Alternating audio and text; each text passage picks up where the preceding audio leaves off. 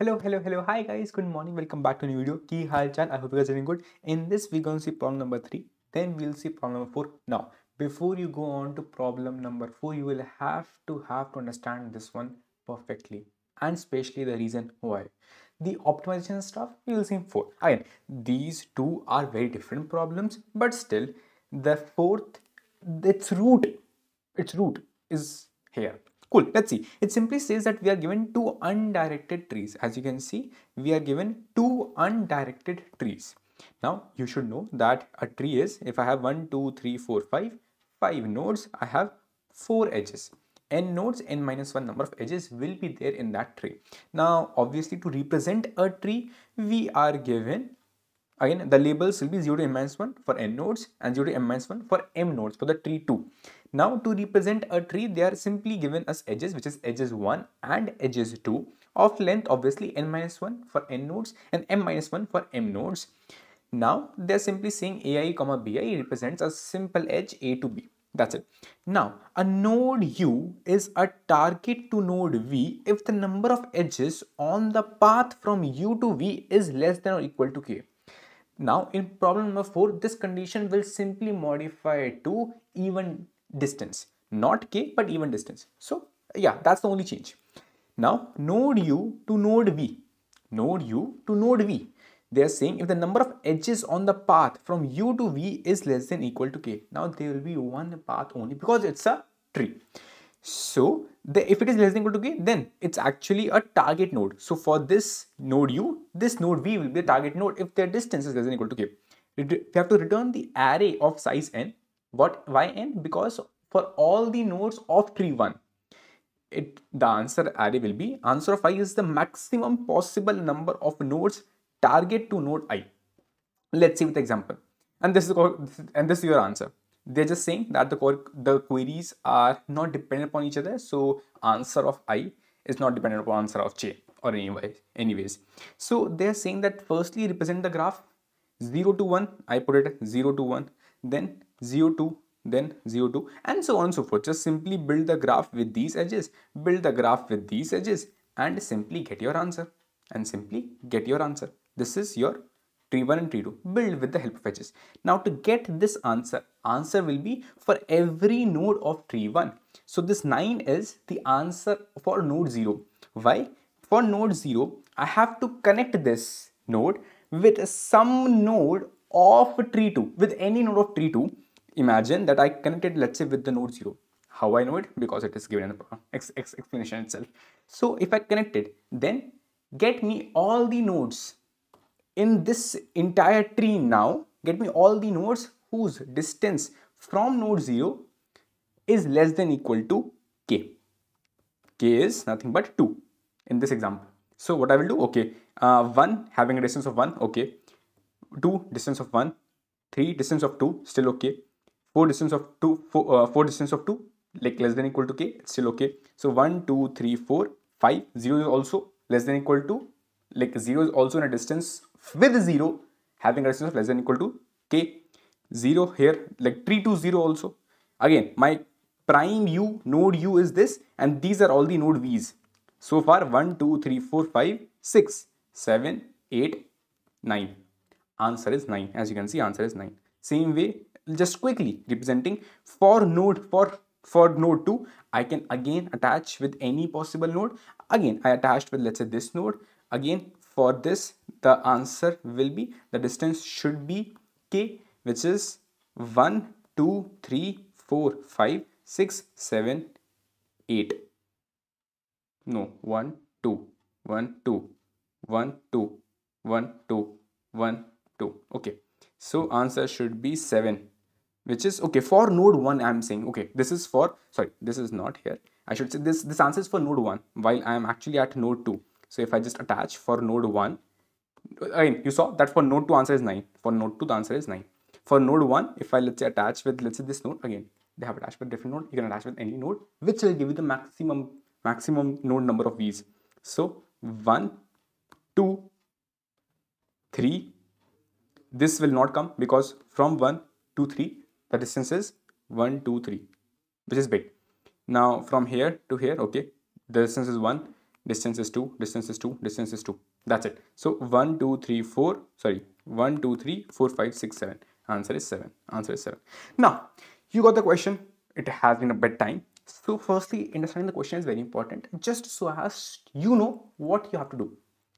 This you have to do for repeat it for every node of node 0 now for very basic let's break the problem down what I'm trying to do is I'm trying to achieve the maximum number of V's in this entire tree after attaching this node U with any of the nodes from node V.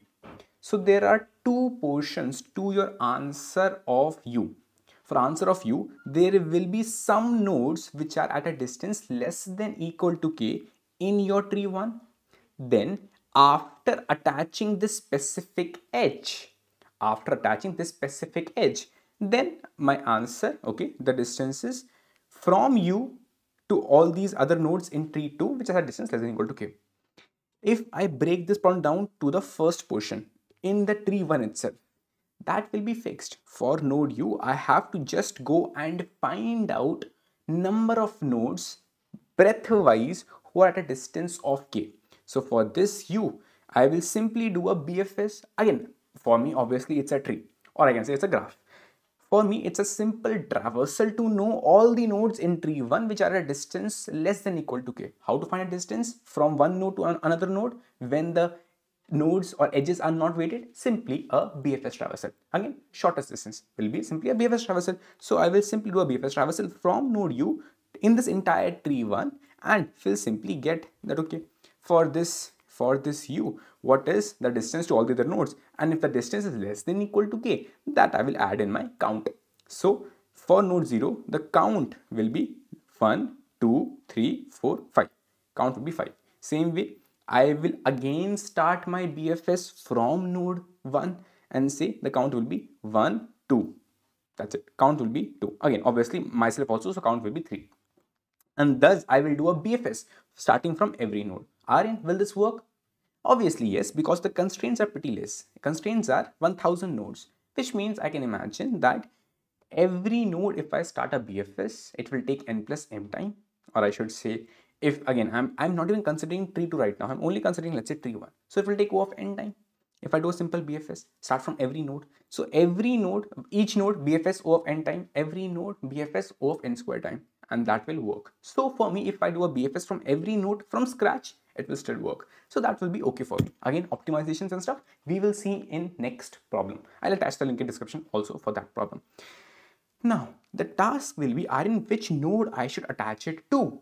Oh, that's a question. If you go brute force way, which means if you attach it to node 0, then node 1, then again, then other node, then other node, other node, and then you do a BFS, then what will happen is for one node, you will have m options to attach to. Again for one node m options to attach to. F after attaching again do a bfs of a size n plus m. And this you have to repeat it for every node of tree 1 this will give you a TLE so now you have to think of a specific way that which node okay obviously node u you have to attach it to some other node in node in tree 2 and again don't put your don't put your brains much see, analyze the example itself.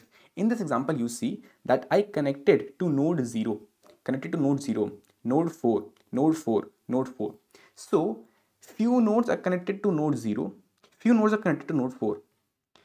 If I say, even if they would have connected to node 0 only, still the answer would have been same. Why? Because understand, as I am attaching this node, there is one, again, for me, the only thing extra is distance so this is one extra distance.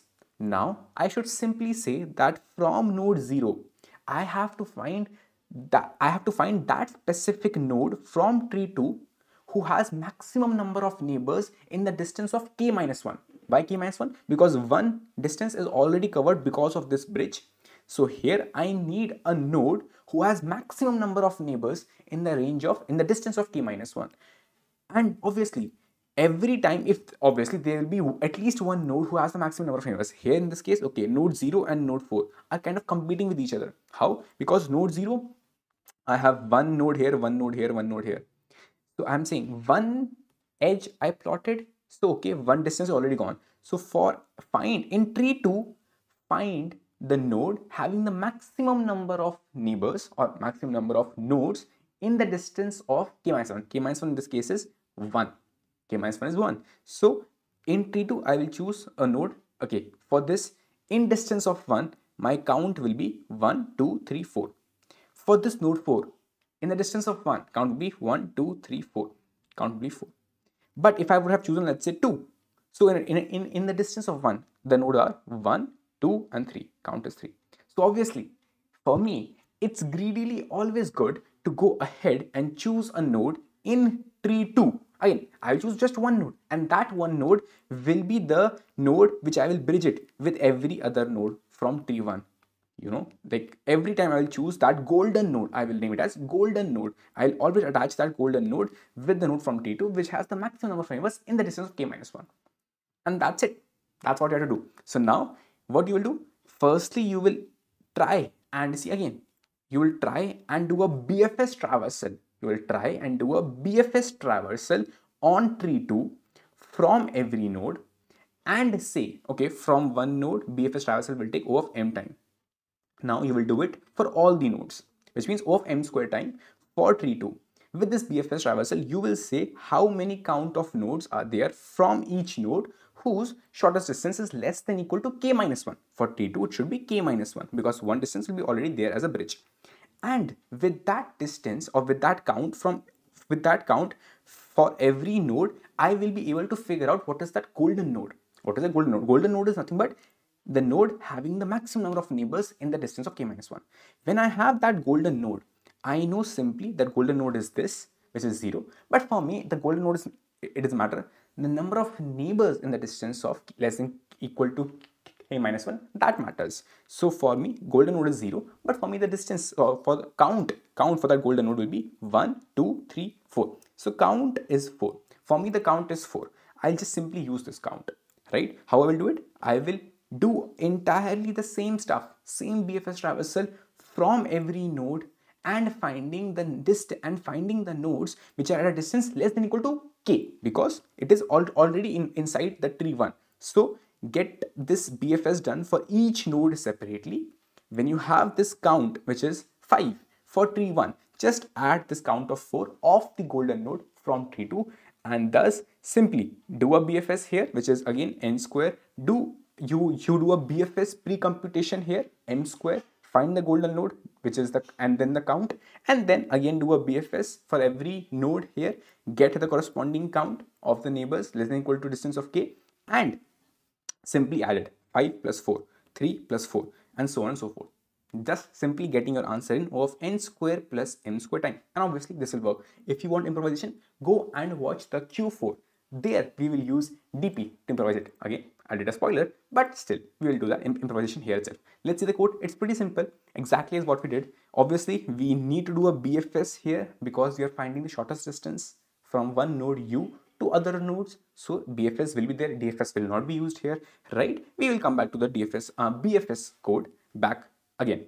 But here, I took the number of edges and number of edges in edge 1 and edge 2 which is the graph 1 and graph 2 then i build my graph simply adjacency list how I will build it? Simply going on to all the edges, getting the u and the v and simply plotting the undirected edge. Same way I will build the corresponding graph for graph 2.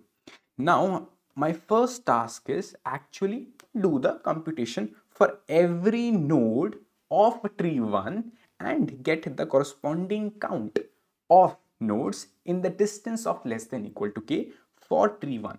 So I'll simply do a BFS count. I'll simply do a function in which I'll, I'll pass graph 1 the current node from which I am starting my BFS traversal form, I need to get all the nodes in the distance from node i at a distance of less than equal to k and this is the corresponding size. That doesn't matter as much.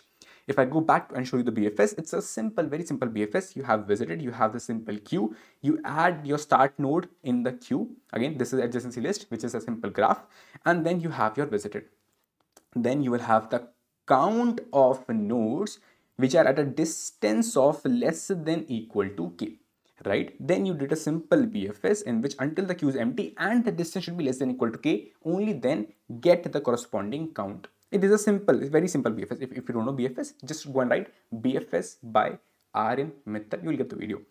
Then go on to neighbors. If not visited, just simply visit it and put it in the queue. And ultimately increase the distance because the level, as you know, level by traversal, BFS traversal, the distance increase when you go on to next level. And ultimately return the corresponding count. And this I will do it for all the nodes, for, for all the nodes of tree 1.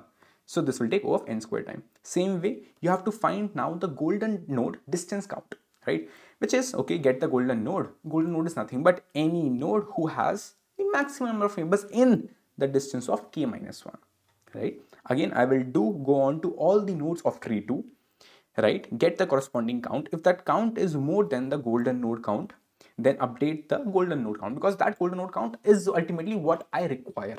Ultimately, if to get and build the answer, go on again to every node of tree 1. You have already computed, again, this will take again take off m square time. You have already did the computation for tree 1. Simply get that specific count and add the golden node count. This will be your answer. That's it.